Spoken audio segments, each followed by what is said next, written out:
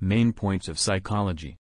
A scientific study of the mind and behavior, the mental or behavioral characteristics of an individual and group, Merriam, Webster, includes many subfields, abnormal, anomalistic, behavioral genetics, biological, clinical, cognitive, community, counseling, development, educational, environmental, forensic, health, etc. The scientific study of all forms of human and animal behavior, sometimes concerned with the methods through which behavior can be modified. Collins Dictionary Goals of Psychology To describe behavior which helps in understanding and gaining a better perspective on behavior, to explain behavior and what influences it, to predict human behavior about how one thinks and act, to change behavior which can be constructive in nature.